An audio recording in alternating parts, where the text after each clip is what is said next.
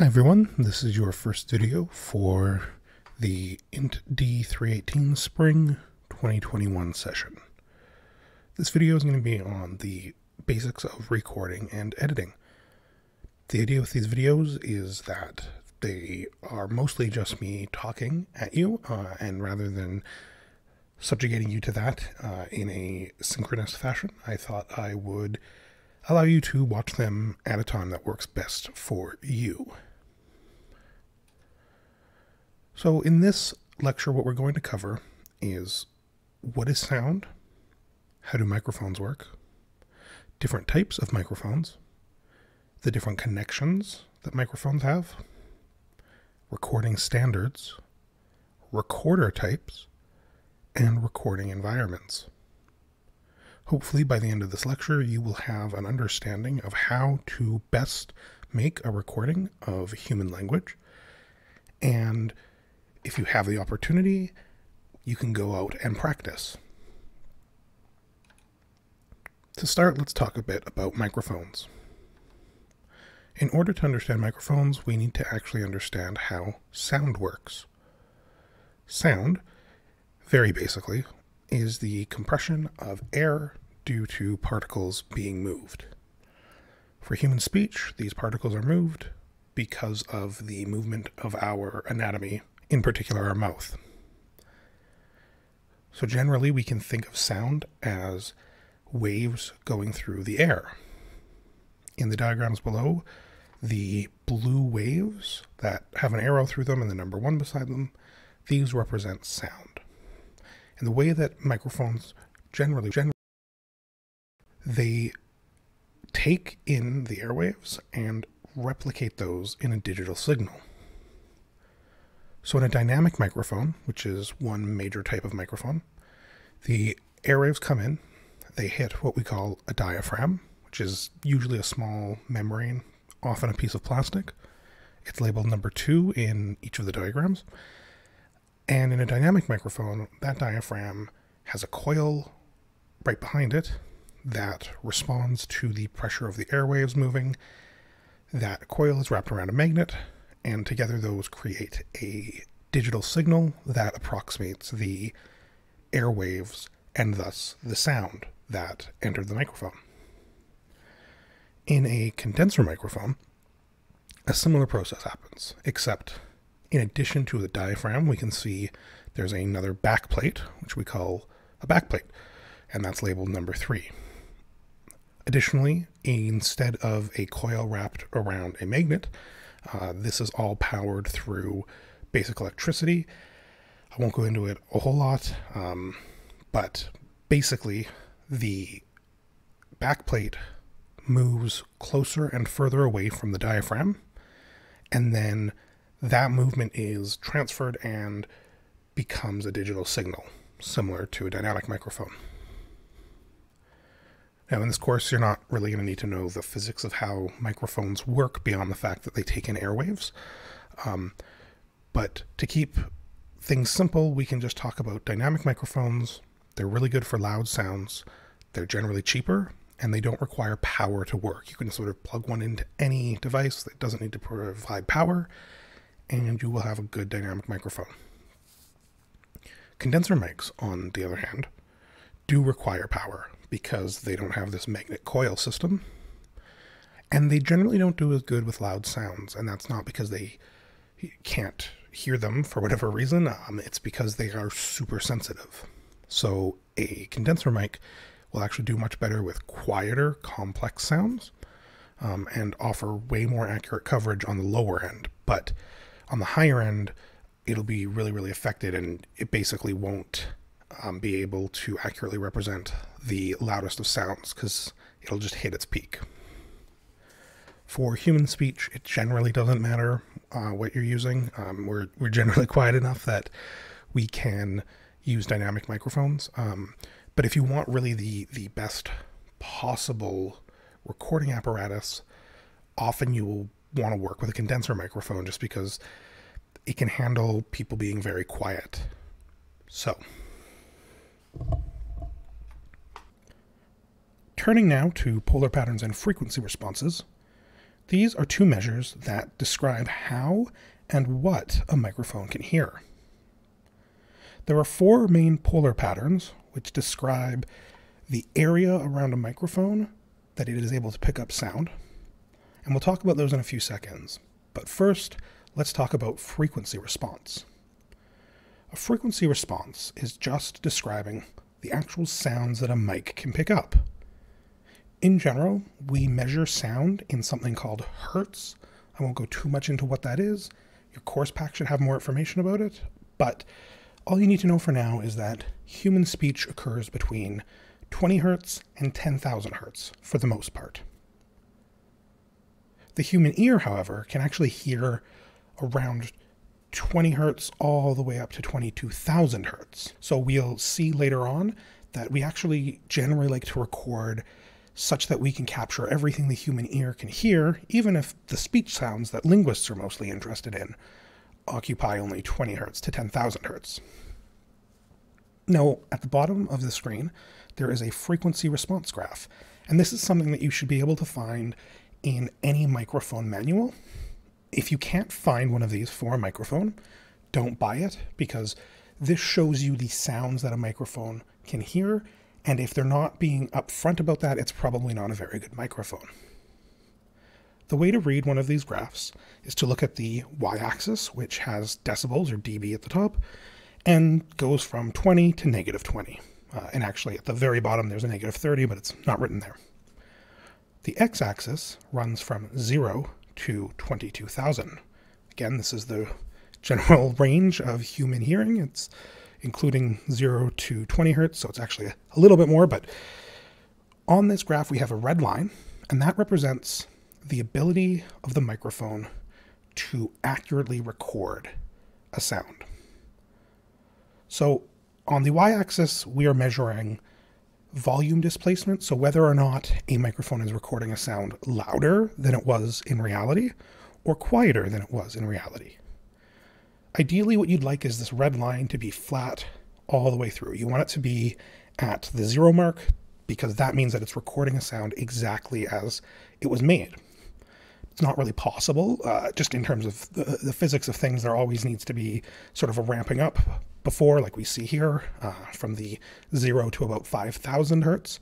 Uh, but this would be a very good frequency response. Um, this is probably better than anything you're going to see in reality, even though it's not completely flat. It's still so good that it's, it's really, you know, what what you want. If we look at this graph, though, what we see is a little bit of distortion near the end towards the 20,000 hertz range You can see it goes up a bit, which means that the microphone will record sound a little bit louder than it really was, and then it dips down a little bit below zero, and that's it hearing a little bit quieter than it really was. This is actually a relatively small amount of dispersal from that zero line, and really this would be a fantastic microphone. This microphone would probably cost quite a lot of money because it's still very accurate. You're never going to get a completely flat frequency response, but you ideally would like to get one that is as close as possible. Again, because we're mostly concerned with human speech, really what we care about is from the 20,000 to 10,000 hertz range. Um, but if you can get it at the higher ranges uh, to be flat, that's great too.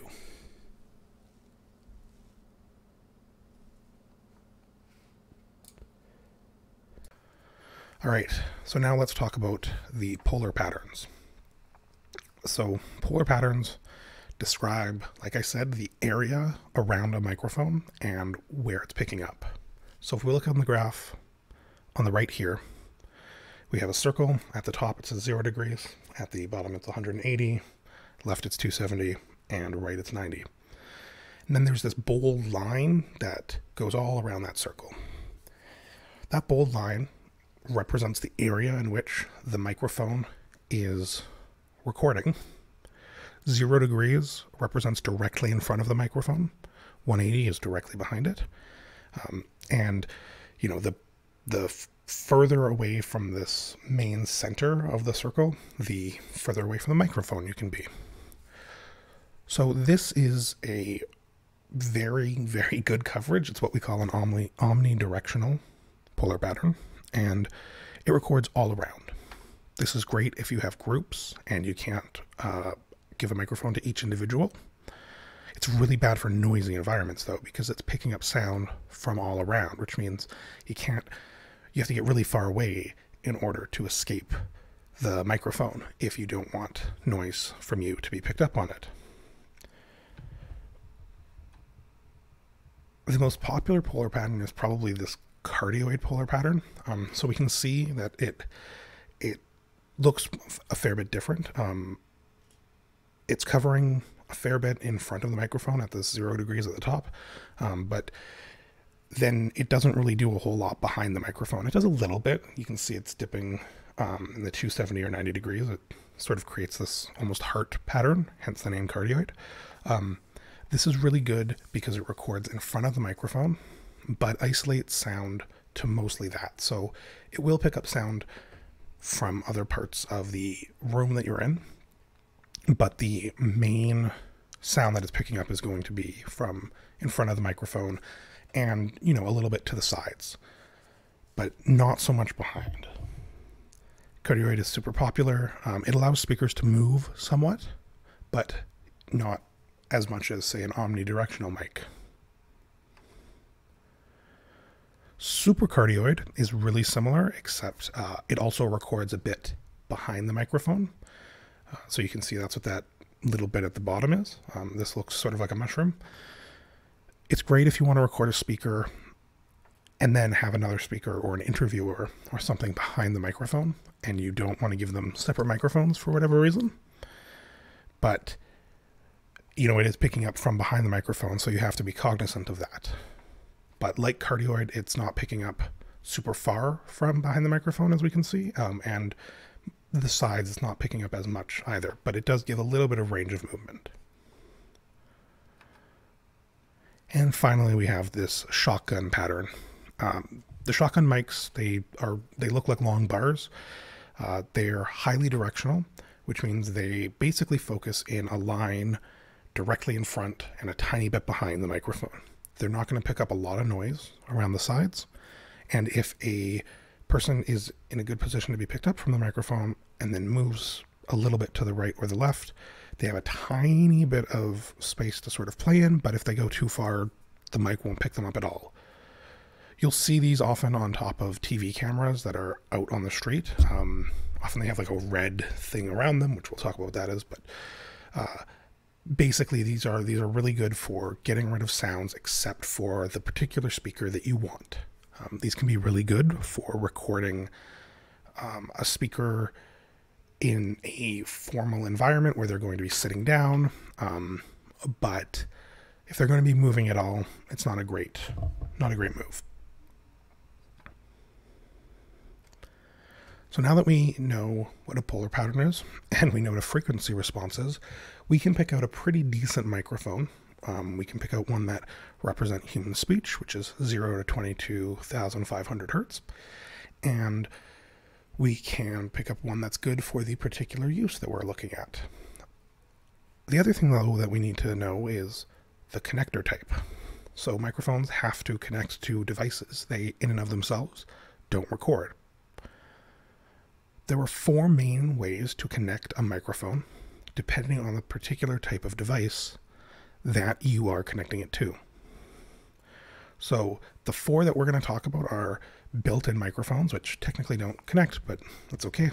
Uh, the phone connection, which is a very popular option. The XLR, which is the most common in professional settings.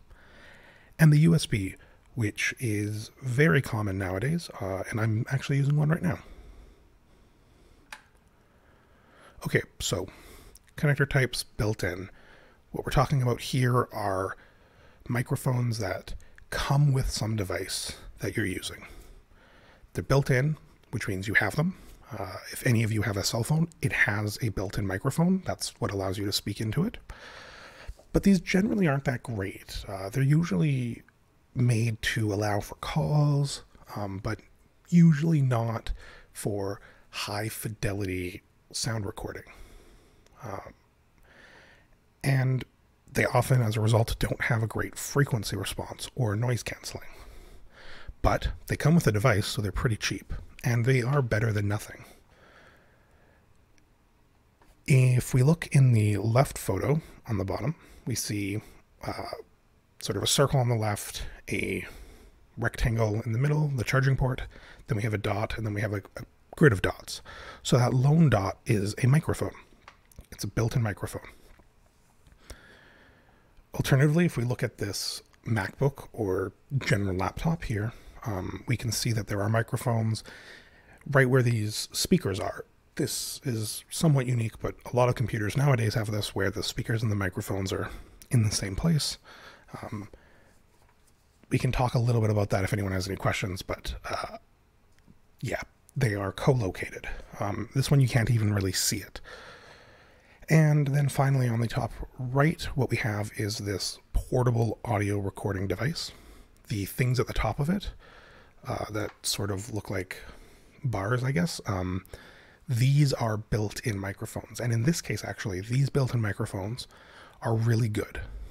They're still not what I would personally use for uh, high fidelity phonetic analysis, but they're more than enough to record audio for a lot of different purposes, even for recording something to put online. Next, we have the phone connector. So the phone connector, I'm sure you're all really familiar with. Uh, it, it is something that at least used to be on all cell phones. Um, a lot of phones nowadays don't have them. Um, but they're often on the ends of headphones um, and a variety of microphones as well. They come in two main sizes, the 3.5 millimeter, which you see in the bottom left. It's the, the normal headphone jack. And the 6.5 millimeter, which is on the bottom right. Uh, that's usually one that it's a bit thicker. It's used in like musical recording, often in amps. It's, it's the, the thicker jack. 3.5 millimeter is the same plug as headphones, as I said, uh, but some headphones will actually come with a microphone attached to them. So most cell phones that come with headphones have a little rectangle on the cord, and that's a microphone. And actually, what you'll notice on those is three stripes around the metal part. Um, not all have this, but most do. And that indicates that there are, you know, two channels, so it can give audio just to the left or to the right, or each of those at the same time. It can give different audio. And then the third stripe represents the fact that it's also a microphone. Uh, if we look on the right at the 6.5 millimeter connection, there's only two stripes, uh, and that's because that one doesn't have a microphone. Same with the 3.5 millimeter on the left. The XLR connection next is extremely popular with professional equipment, um, and that's because the XLR can actually supply power. To identify an XLR connection, it's usually a metal copper tube. Uh, it doesn't have to be copper, actually. It can be sort of any metal, but a metal tube um, with three prongs on the inside. And these three prongs allow it to transmit audio, but also to provide power to the microphone. So for a condenser mic, this can be, you know, mandatory because the other connections that we saw aren't providing power. It usually requires special equipment. I've never seen a computer, for example, that has a built-in XLR input. Usually you have to have some sort of interface, uh, and we'll talk about that in a little bit. Okay, now USB. Uh, the connector type USB is probably one we're all familiar with. Um, it plugs right into your computer. It can supply power, which is great. Uh, the only problem is if you're plugging a microphone directly into your computer, you're relying on your computer's sound card. Uh, that's the thing that actually accepts the sound that's happening, turns it into a digital signal, and then can save it. The issue with relying on your computer's sound card is that all of the other pieces in your computer that are running at the same time may be picked up by the sound card. Uh, even if they're not picked up by the microphone, the heat from them, the vibration from them may affect the sound card, which can affect your recording. If you're really, really, really caring about the absolute most representative sound that you can get, it's probably not a great idea to record from a microphone directly into your computer. That said, uh, for this, for example, I'm doing exactly that. I have a microphone that plugs directly into my computer, um, and it's mostly fine. I'm not doing phonetic analysis on this um, for basically any other purpose. You can get pretty decent microphones that are USB based nowadays. Uh, the the other thing I guess to think about is the fact that USB is in a bit of a weird spot right now. So if we look at the cord that we see in the slide, there's actually two different shapes. Um, the one on the left, this smaller sort of rectangle oval combination, is called USB C. That just refers to the shape. Um, and the one on the left, the rectangle, the one that's probably more familiar to, at least to me, that's called USB A. And you need to make sure that you have the right cables for both your microphone and your computer. For example, my computer doesn't have a USB A port. Most, almost all computers do. Mine doesn't. So if I have a cable that goes from my microphone, I need to make sure that I either have adapters or some way to get the cable to plug into my computer.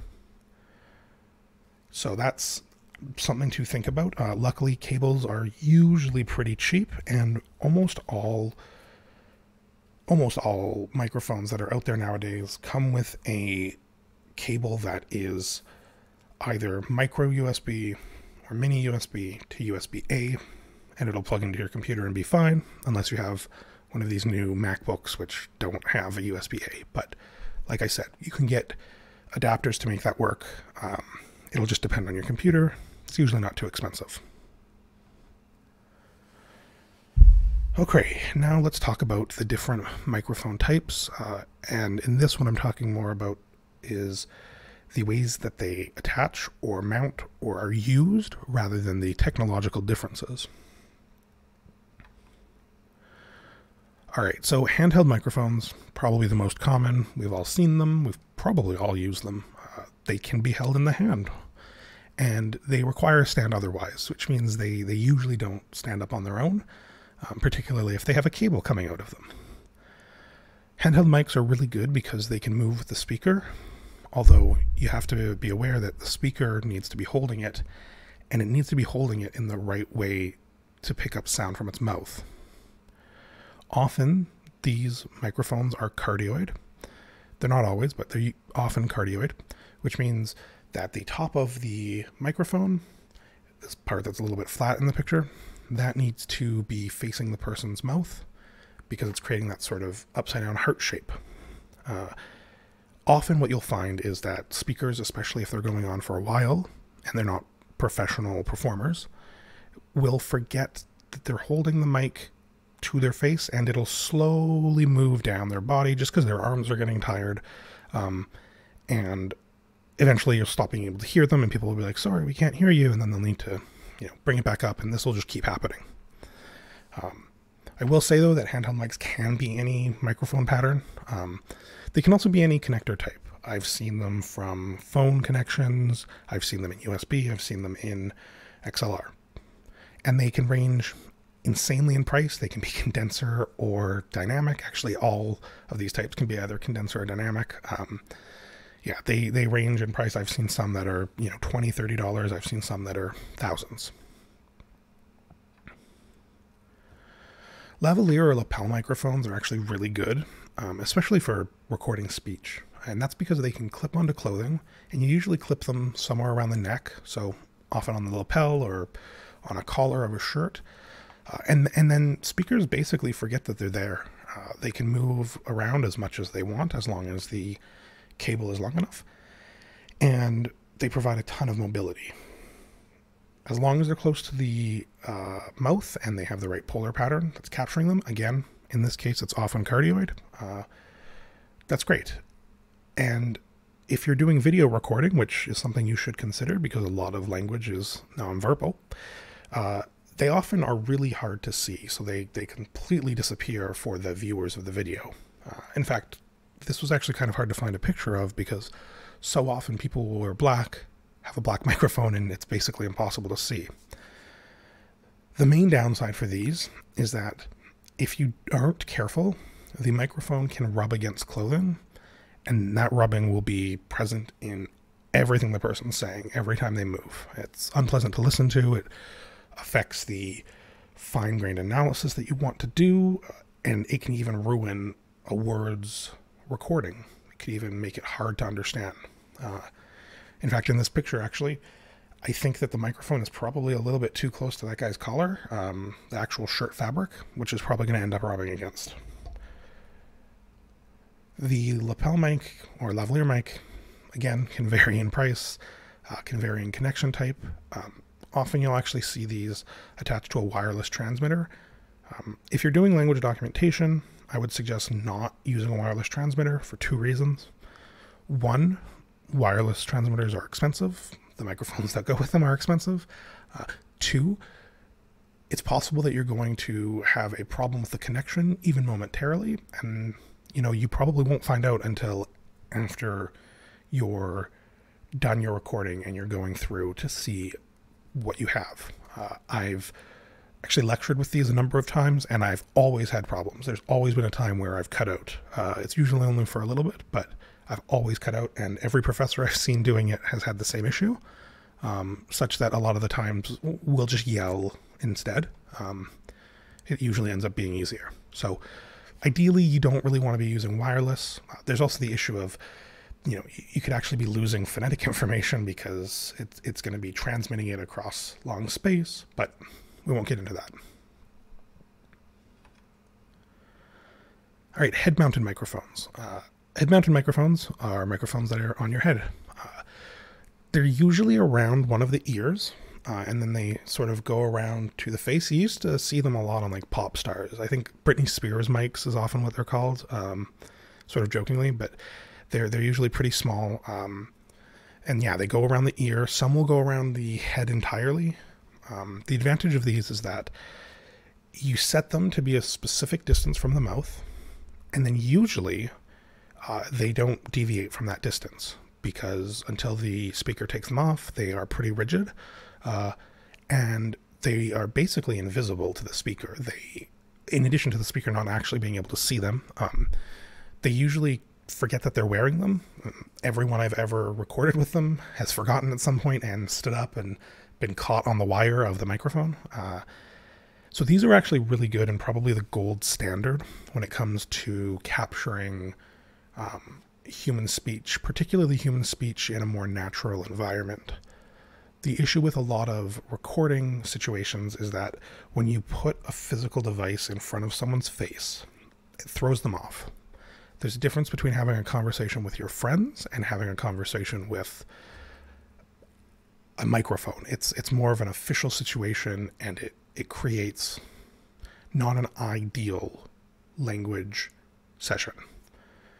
Now, obviously, that's the best we can do a lot of the time, particularly as academics. Um, and it's not the end of the world if that's all you can get. But uh, the advantage of these is that speakers really, really forget that they're there and that it can feel just like having a discussion with friends or colleagues. Uh, and and I can say that actually having been on both ends, I've done a lot of uh, recording sessions where I've recorded people, um, but also right now I'm recording myself. I'm being recorded, and I'm definitely speaking and acting differently uh, with the microphone setup that I have than I would be if I was just talking to somebody, even without trying to.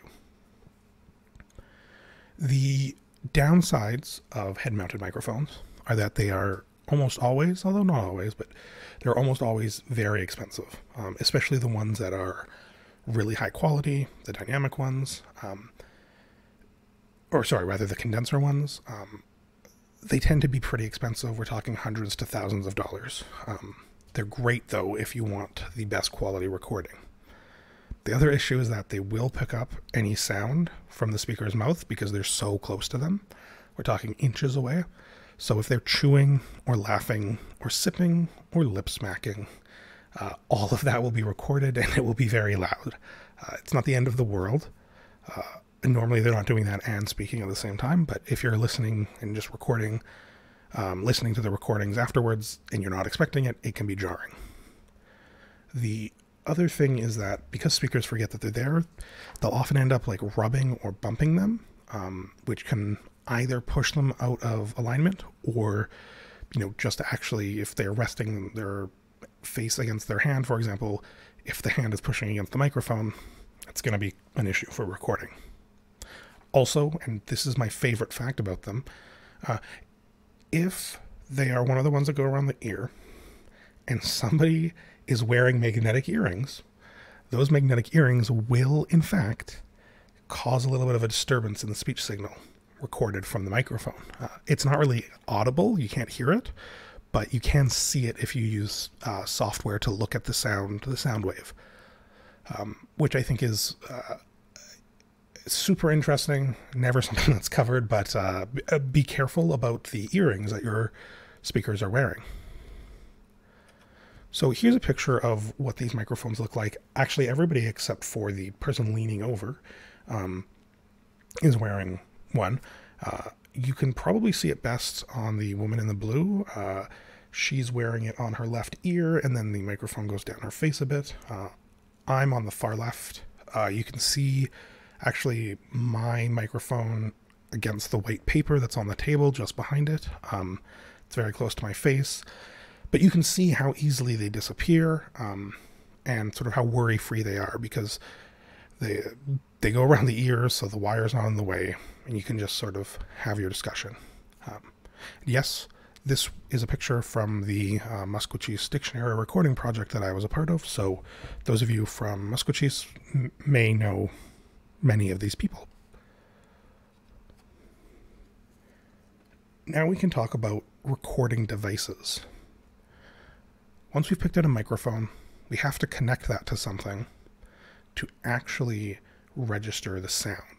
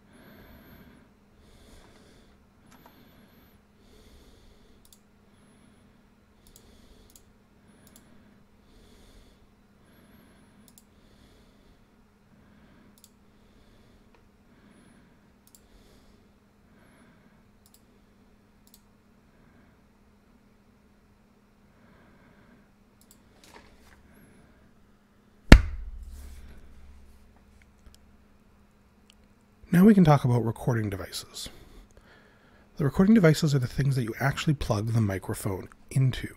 Like I said, microphones themselves don't actually record audio, they can just take it in. In order to actually record audio, uh, the microphones plug into something, and there's three main types of devices that you can connect a microphone to. So there's the integrated devices, there are the handheld devices, and then there are the external sound cards. So the integrated are basically the same as the integrated microphones. Um, they're just a different part of it. Uh, so basically, all cell phones and computers nowadays have microphones inside of them. Um, the advantage of these is that they're easy to use. Uh, you just click record, it saves directly to your computer or phone's hard drive or SD card. Um, we'll talk a bit about storage later, but they are automatically available because if you have the device, they work, and they're usually good enough. Uh, so, you know, we're going to be having Zoom sessions. Usually, you can understand everything I'm saying. Uh, that's because unless you have an external microphone, which most people on Zoom um, don't, um, although that's changing now that we've been working from home for a year. Uh, they usually are good enough for recording sound. If you just want to get a record of something that was said, uh, usually an integrated mic and computer slash phone uh, will help you with that. But we'll talk a bit about why that might not be a good idea in a few slides. The disadvantages to this are that, uh, in general, these things will only record to MP3, uh, and that's because basically uh, we're talking about phones and tablets here. Uh, a lot of them, especially Apple ones, don't want to record to WAV, generally because WAVs take up more space. Um, and so an MP3 file, which we'll see in a little bit, is actually a compressed form, which means it loses information from what is actually said. Again, this information is very rarely audible, but if you're doing fine tuned analysis where you actually have to look at the speech signal, um, such as stuff that you might be doing in Audacity later, it's kind of an important um, thing to have. Uh, when you have a computer, if you're recording something on that, usually you can find an application that'll allow you to either go from WAV uh, to WAV or just record to MP3. Um, the other disadvantage is that the microphones that are integrated into these, like we said, don't usually have great frequency responses, but they're usually good enough. The handheld recorder is probably your best option. Uh, in addition to being a handheld recorder, which means they're really portable, um, usually they're not, you know, much bigger than. Uh, they're usually thicker, but maybe not much uh, bigger in dimensions otherwise than to a cell phone. So imagine like a cell phone that's three times as as thick. That's probably what you're getting with something like the the bottom one there. Um, they can also act as an external sound card. So they can be an intermediary between your computer and your microphone. Uh, additionally, they're generally extremely easy to use. So in all of these cases, you can actually see there's like a red button that you click that records it. You click it to stop recording. Um, they come in a ton of different forms. So the topmost one that we see to our right, it's called the Zoom H1N. Uh, it's great. It's under a hundred dollars. It's around a hundred dollars at least, most of the time. Um, it has microphones connected uh, on its top there, and they're actually pretty decent. Um, like I said, they're very good for basically anything other than detailed phonetic analysis. And they can usually record to either WAV or MP3. Um, other ones, like the other two that we have on the slide, in addition to their built in mics on their top, they also have inputs on the bottom, which you can't really see in the picture. You can see there's stuff going into the bottom, but they have XLR inputs, which means you can use those XLR mics. So these are super, super versatile. Um, usually they're your best bet, and they're usually under $300, even for the, uh, the ones with the XLR inputs. So the handheld devices, if you're buying something new and you have money, they're a pretty good way to go. Uh, they also, as you can see, the uh, middle one there uh, is pretty rugged. It's called the H4n Pro. Um, they're specifically designed to be field devices, so things that you can take and you know drop. They're not waterproof as far as I know, but um, they they are really good for portable field recordings. Then finally, we've got our external sound cards. So an external sound card is basically just something that you use as an intermediary to plug a microphone into a computer.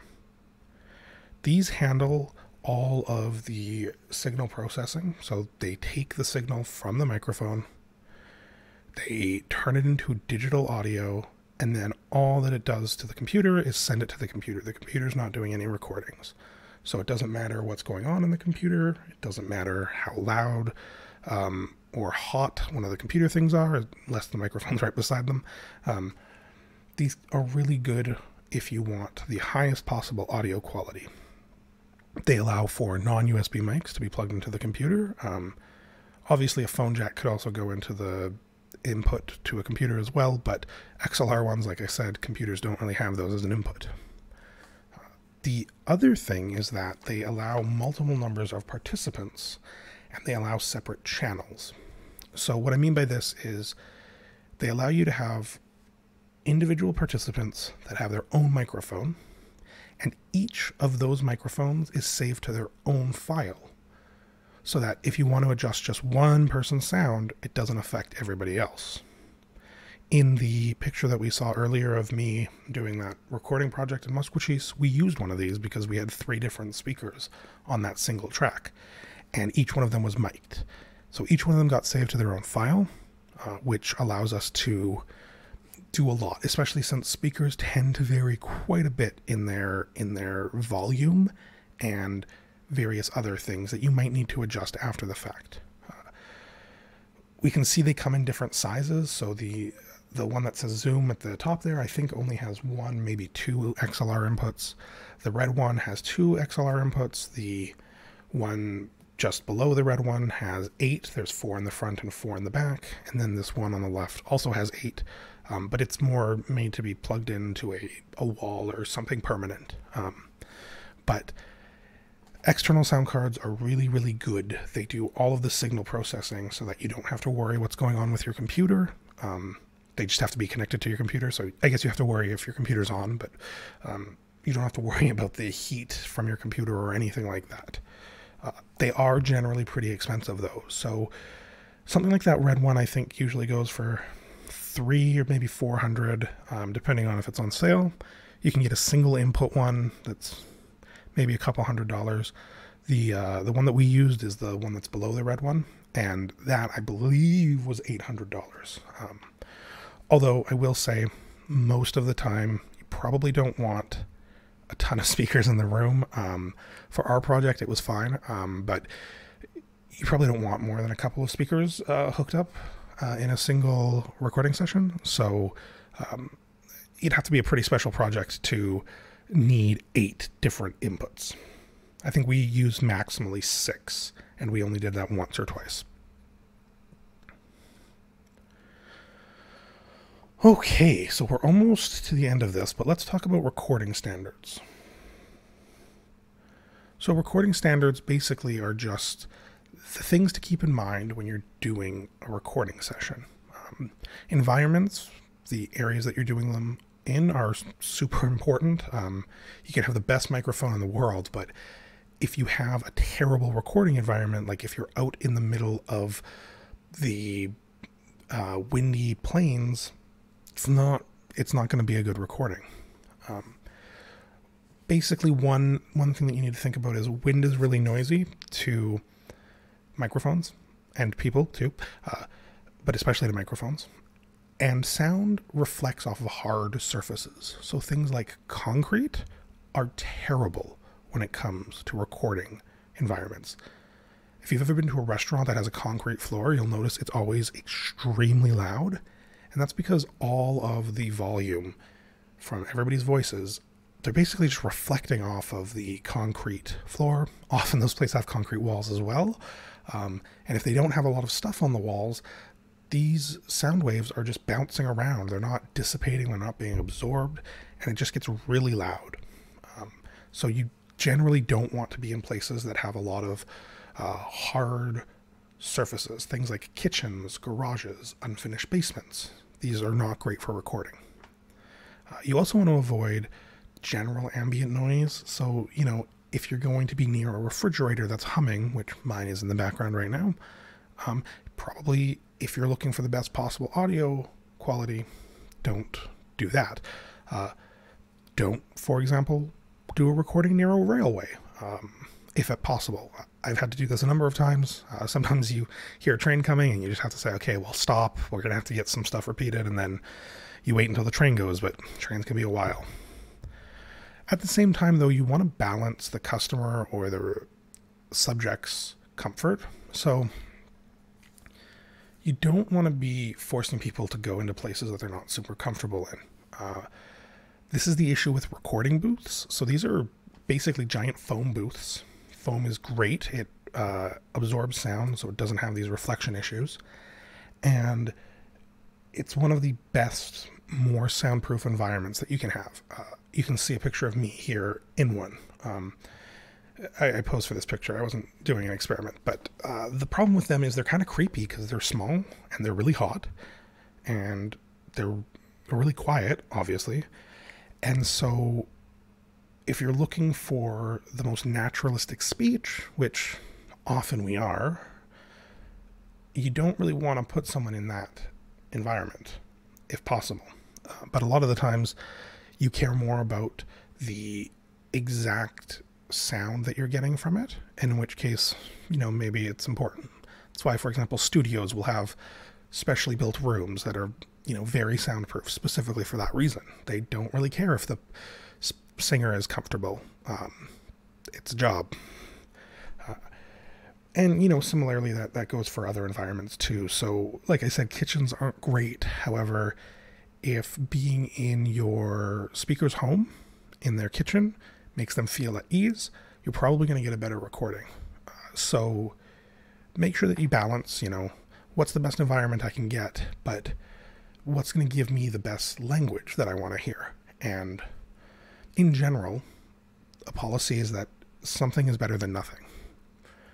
If you have the opportunity to record an elder telling a story or giving a teaching, and they're okay with you recording, because you want to make sure that people are aware and okay with you recording, then if all you have is your phone that has a not great microphone, that's still better than not having the recording at all. Because if you don't have the recording, nothing can be done with it.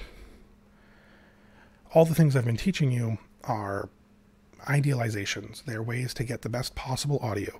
And the idea with this is okay, audio that's the highest quality can be used in the most ways. And if you have the highest quality audio, people can choose what they're going to do with it in the future. You can choose what you're going to do with it in the future. Uh, if you record in low quality audio, your options are limited. You can't really make audio higher quality than it was recorded in. So that's why we're sort of giving you the gold standard. But really keep in mind that some recording is better than no recording. And if something is worth doing well, it's also worth doing poorly. Uh, as one of the uh, instructors at the university has told me, uh, I think it's actually a good motto. Now let's talk about the actual standards of recording standards. So for phonetic analysis, you want a dot wave file. If you're trying to figure out the intricacies of the sounds being made rather than simply a record of something so that you can write it down or something so that people can associate writing with a sound, you're going to want to use a wave file because these files are uncompressed. This means that they are a direct representation of what your recorder picked up. The most popular file type is a .mp3, and these are compressed files. That means that they were taken from an uncompressed source, and then they were compressed into a smaller file size, with some information being discarded. For the most part, this information isn't audible to the human ear, but it is something that comes up in phonetic analysis. And so an MP3 cannot really be used to do professional phonetic analysis. On the other hand, MP3s are a much smaller file size than a dot wave. Now, a dot wave can be saved as an MP3 later, but once something is saved as an MP3, you can't really go backwards unless you have the original file. Uh, if something's saved as an MP3, that is the highest quality that that particular file is going to have. When you're recording waves, you should always make sure to record them in 44.1 kilohertz and a bit depth of 16 bits. I won't talk about these too much or what bit depth is. The course pack talks about it, I believe. But the idea here is that by recording double what the human ear can hear, which again is, is around 22,000 hertz or 22 kilohertz, um, we're making sure that we capture everything the human ear can hear. So if you record less than 44.1 kilohertz, you may be losing some phonetic information. It may not be exactly in the human speech sound era area, but you may lose some information. So the standard is 44.1 kilohertz and 16 bits. Now this is super common. Most recorders will actually tell you or have this as a default or allow you to change it to this. Now the standard of 44.1 kilohertz and 16 bits concerns your recording devices, not the microphones themselves. Microphones pick up sound, but they don't do the recording, which means things like sampling rate, which is what the kilohertz is referring to, or bit depth, don't really apply to microphones. So just keep that in mind if you're trying to find out if it can record 44.1 kilohertz or 16 bits. Your microphone probably won't say that, but your recorder definitely should. As I mentioned before, you can never really uncompress a file, so make sure that you are recording to the highest quality that you could ever possibly need um, the first time. Now, archives may have their own standards. Um, oftentimes, archives want a 96 kilohertz with a 32 bit depth. Uh, most of the time, these are references to sounds that aren't human speech, so the uh, sampling rate and bit depth are a bit different. Um, check with your archive to see what the standard for the recording is if you're planning to archive any of your work, which you should be. Uh, do this at the start so that you don't record stuff and then find out, oh, my archive won't take it. Now, talking about accessories, uh, there's a lot of accessories. We're not going to get into all of them. The main ones I want to talk about are wind screens or wind socks, depending on how you want to talk about it. That's those foam things that you'll often see on top of mics. I said like on on TV cameras that are filming on the street, often they'll be red. Um, that's just for like visibility. Um, basically, these are just foam pieces that go over top of your mic. They allow speech sound in. They don't allow wind in. It's really good. It cuts down on wind if you're in a windy environment. If you're going to be recording outside, even if you think it's not windy, use one of these. Then we have something called pop filters. Um, these are good for sounds uh, like so or pa, um, because these sounds cause mics to peak. And what I mean when I say peak is that they're really loud.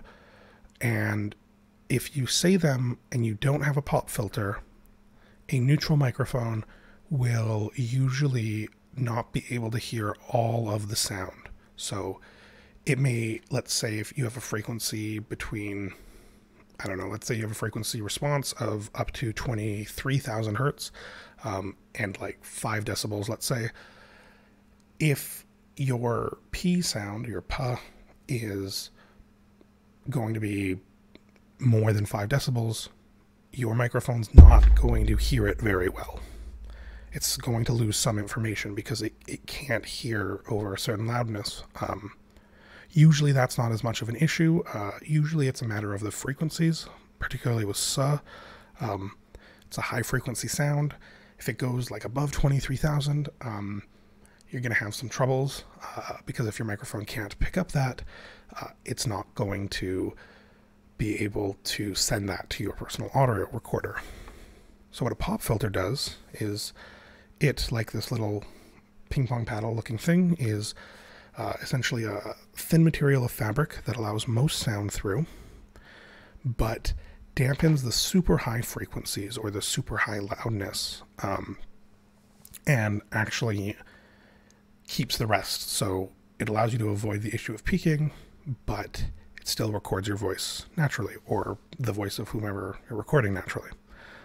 Uh, I'm using a pop filter right now because the microphone that I have uh, is really good. It, it records only the specific sounds um, that it hears. It doesn't have this pre processing where it tries to get rid of certain sounds that it doesn't like. Um, some microphones, particularly USB microphones, will do that.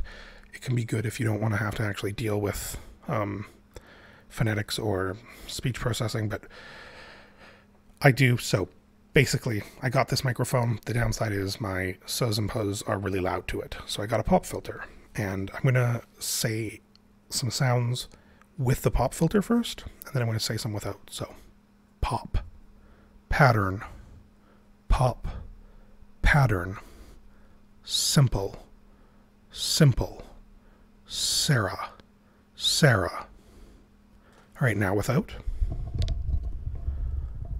Pop, pop, pattern, pattern, simple, simple, Sarah, Sarah. So hopefully that gave you a little bit of uh, an idea of what a pop filter can do. Um, again, it's not always the end of the world, but it is something to keep in mind. Uh, if your microphone is peaking, uh, it's it's not a good thing. So they're really cheap. I think I got mine for like ten dollars. Um, I would go ahead and get one. remember to always use a stand for your mic um, if you need one. Uh, so if you have a lavalier mic, you don't really need a stand. Um, but otherwise, most mics need stands. Um, I guess also if you have a head mounted mic, you don't need one. Uh, but it's something that's easy to forget about. And uh, if you don't have one, the microphone isn't a whole lot of use. Then we've got uh, SD cards and general storage. So uh, if you're recording to a computer, you usually have a hard drive in the computer. Um, if you're recording to Wave, you need to make sure that you have enough storage for that. Uh, I generally suggest if you're starting a new project, buy an external hard drive. They're usually about $100 for a lot of storage. Um, and, you know, back up your recordings to that. Um, so record during the day, the end of the day, when you're done recording, before you do anything else, back up to an external hard drive. Make sure that external hard drive is away from your uh, recording apparatuses otherwise, um, because, you know, if something happens and they're close together, if something happens to one, it'll happen to the other, and you've lost everything. So, uh, you need you need storage. Um, a lot of personal audio recorders actually use these tiny little uh, micro SD cards or SD cards. Uh, a lot of cell phones are using them now too. Uh, cameras. So these tend to be pretty cheap. Uh, not quite as cheap as external hard drives, but uh, they're still pretty cheap. Uh, you just need to make sure that you have the right amount of recording space. Um, so what I would suggest again is with a personal audio recorder. At the end of the day uh, make sure that you've backed up all of your stuff to an external hard drive and then delete the day's recordings from your recording device um, after you've 100% made sure that you've backed it up. You can delete them from the recording device and then uh, you can just go through the next day and you'll have enough space probably. Most audio recorders, even with just their built in storage, have enough to be about eight hours of recording or so um, at a WAV file size. Uh, you just really need to make sure that you have enough storage um, because what you don't want to happen is you go out to record, you realize you have a bunch of recordings on your device, you don't want to delete those because you don't have them backed up anywhere, and instead uh, you've gone, you have to record someone, you have no space, you can't record them, or you have to lose some old recordings. Uh, it's not a great situation to be in, so uh, really just be aware of that personal audio recorders will usually tell you, um, like on the screen, it'll actually say like you have this many hours left. Um, so just be aware. Uh, and again, this is an advantage to MP3 is that they take up a lot less space. Then finally, a really good accessory to have is, you know, a headphone set. So these don't have to be expensive. You can get really expensive headphones. Um, for human speech, you really don't need them. Uh, these are just to monitor to make sure that the sound that's going into your microphone or into your sound card uh, is actually the sound that you want. Uh, you can get these fairly cheap. You know, you can use the ones that come with your phone. Um, they either plug in directly to a microphone or into your sound card, depends on the microphone and sound card. And then that just allows you to hear sort of what your computer is is going to take in. Um, and it can be good because it can tell you if you have a speaker who is really far from a mic, let's say, and you thought they'd be louder, but they're not. Um, otherwise, you might not find out that there's an issue until after you're finished recording. So that's it's always a good thing to have on hand. They don't have to be expensive. The only downside to that is if you have headphones on while you're trying to do some sort of elicitation session or some sort of interview, um, one, it looks weird and can cause troubles with your sort of interactions with the speaker, but also it can be really distracting to have that going on while they're speaking, while you're trying to monitor a bunch of other things. So, usually, you know, if you can, you'd have a person whose job is to just monitor the recording, including with headphones. Okay, we can sum up now. So, in this lesson, what we covered was the idea that mics are basically just picking up sound waves and turning them into electrical signals. And there's different ways that different types of microphones can do this. We have, at the very, very high level, we have just dynamic versus condenser. Um, dynamic is, is great in most cases. Condenser is really good if you really want accurate sound that's not super loud. And when I say super loud, I mean like incredibly loud, like higher than most humans' voices can be. The microphones can be measured in their frequency response and their polar patterns. So these will tell you for frequency response the actual sounds that they pick up, and you want it to be between zero and 22,500 ish hertz. Um, and also their polar pattern, which is the area around the mic that it's actually picking sound up from. Um, and that will depend on your actual needs, what you want to choose. So be aware of that. Uh, do not buy a microphone if you can't find its frequency response chart and its polar pattern chart. Uh, it's usually in the manual of the microphone. Um, if you're really confused and you like really love a microphone, um, but you can't find that, you can email the manufacturer. Um, but it should be easy to find, and if it's not easy to find, it's probably not a very good microphone. Um, that said, there are lots of bad microphones that make it easy to find as well, but uh, I digress. Uh, there is also a few different types of recording devices that we talked about, um, and a few different types of microphone connections to attach a microphone to those recording devices. And then there's also different recording standards. So that's all that I have for this lesson. Um, I think I would close by saying once again uh, something is better than nothing.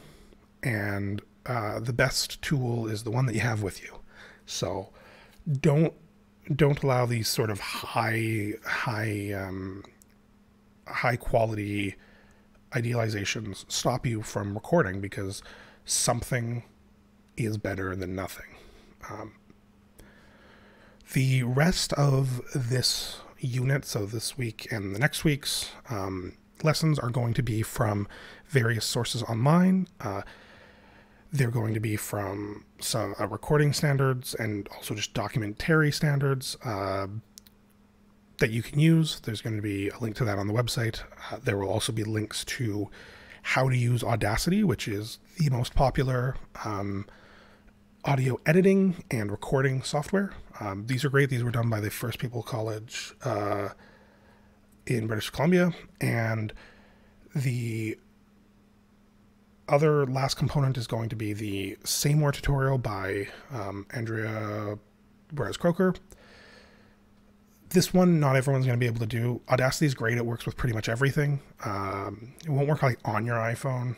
I don't know if it'll work on your Android, but it'll work on Chromebooks. You may have to install something through a Linux system, but um, it should there should be a way to get it to work on um, even Chromebooks. But Say is only for Windows, so if you don't have a Windows computer, you can't really use it, which is why it's not part of the assignment. But Say is really good for uh, having metadata, so explaining what a project, what a recording is, who set it, what the purposes of it was for, who's annotating it, and it's also really good for making sound and audio match up. Uh, when this course is traditionally taught uh, during the CILLDI Summer School, that makes up the majority of the course. But because we can't really do that, um, just given that not everybody has Windows computers, uh, things are a bit different in this course. Uh, then finally, I'd like to say to the course pack from the 2019, I think 2019 um, year is a really good resource. Uh, don't listen to any of the assignments. We have different assignments in this course than that course. Um, but the actual sort of lecture information is really good, and there is an Audacity tutorial in there as well. Um, and there's also some good tidbits about, you know, microphone suggestions and things like that, um, which is going to help you for your uh, assignment one and assignment two, even. Uh, so let me know if you have any questions. Um, you can shoot me an email. Uh, otherwise, I will see you guys in the live lecture next. Uh, hopefully, this was helpful, and I hope you have a good day.